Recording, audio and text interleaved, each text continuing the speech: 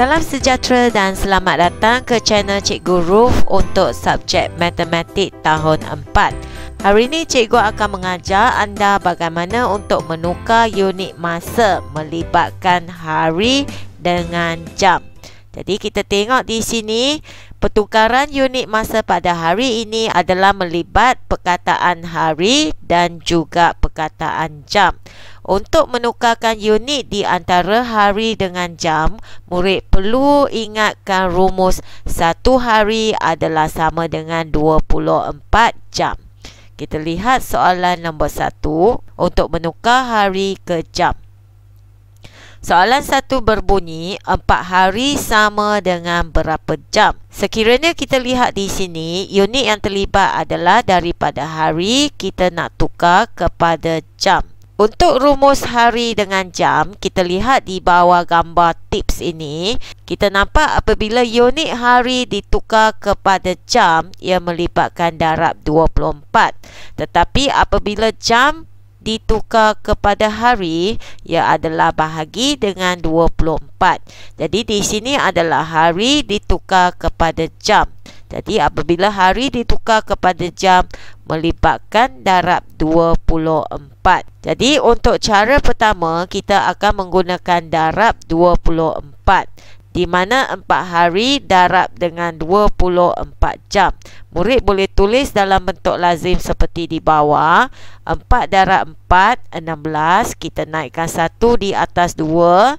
2 darab 4, 8. Tambah 1 akan jadi 9. Jadi ini akan membawa jawapannya 4 hari sama dengan 96 jam. Untuk cara kedua, kita boleh menggunakan penambahan untuk mencarikan jawapan di sini. Di mana satu hari adalah sama dengan 24 jam. Jadi di sini kita ada 4 hari bersama dengan 24.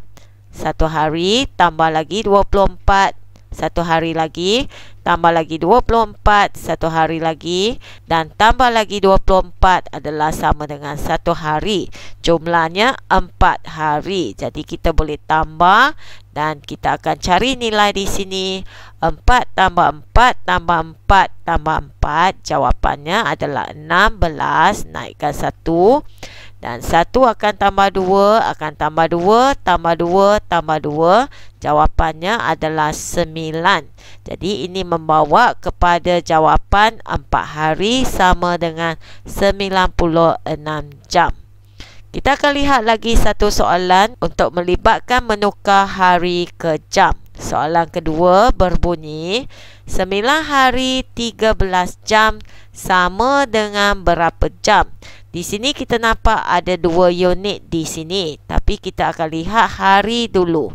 Untuk hari tukar ke unit jam, murid perlu ingat satu hari adalah 24 jam.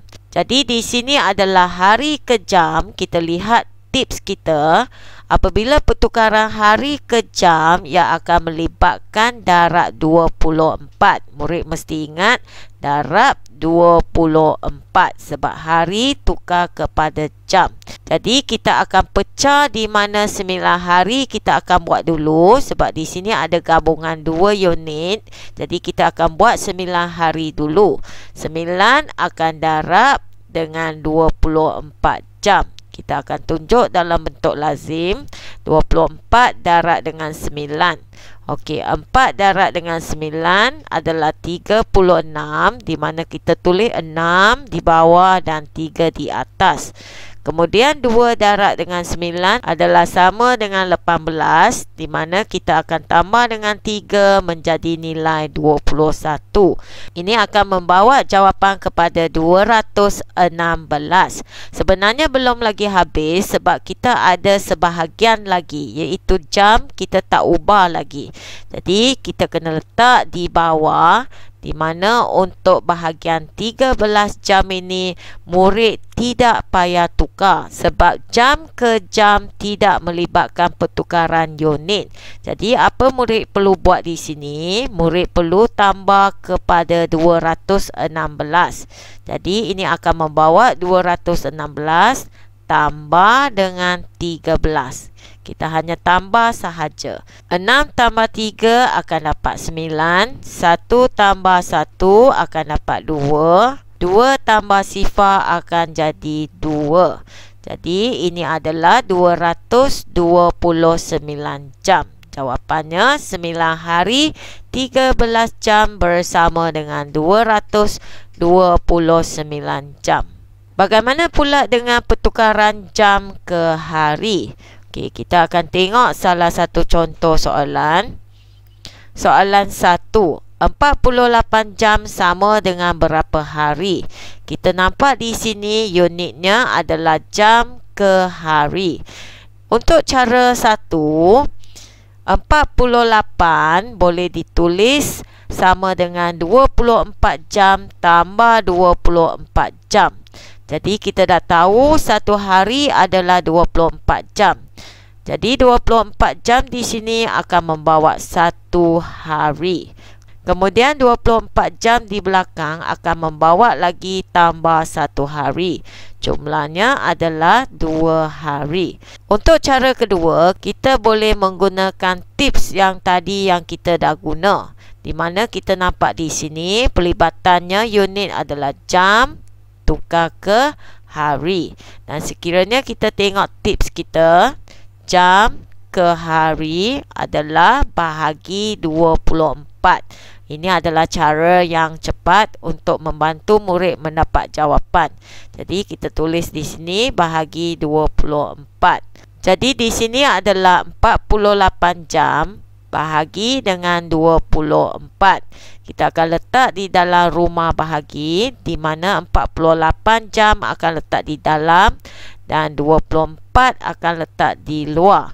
Okey, kita akan letakkan sifir 24 di mana cikgu telah membina sifir 24 di sini sehingga 5 nombor. Jadi kita nampak 48 di sini adalah sama dengan 48 di dalam sifir. Okey, jadi murid boleh tulis di sini tolak 48.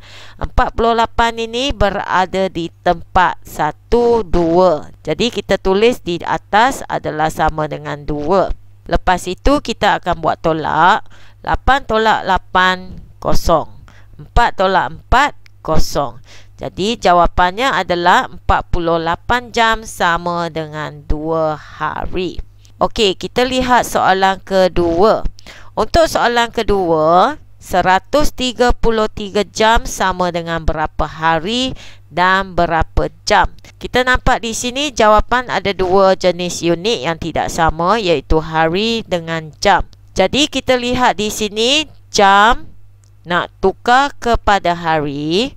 Kita tengok tips kita jam tukar ke hari adalah bahagi 24. Jadi kita tulis di sini bahagi 24. 133 jam bahagi 24. Kita tulis dalam rumah bahagi 133 bahagi 24. Sifir 24 telah cikgu sediakan di sini sehingga 6 nombor. Untuk sifir 24 paling kecil adalah 24. Jadi di sini adalah 133 terus kita akan cari jawapan yang hampir dengan 133 di sini. Kita nampak dalam sifir 24 yang paling hampir ialah 120. Jadi kita akan tulis di sini 120. 120 adalah terletak di dalam tempat 1, 2, 3, 4, 5. Jadi kita tulis di atas 5. Kita akan buat tolak 3 tolak kosong 3 3 tolak 2, 1.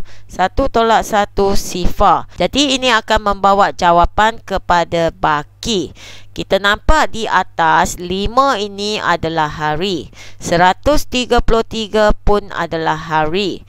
13 di bawah ini adalah dalam unit jam. Jadi kita boleh tulis sebagai 5 hari 13 jam. Jawapannya adalah 133 jam sama dengan 5 hari 13 jam. Okey, jadi cikgu harap pengajaran hari ini dapat membantu murid untuk menukar unit melibatkan hari dan jam dengan betul. Kita akan jumpa pada tutorial yang akan datang. Bye.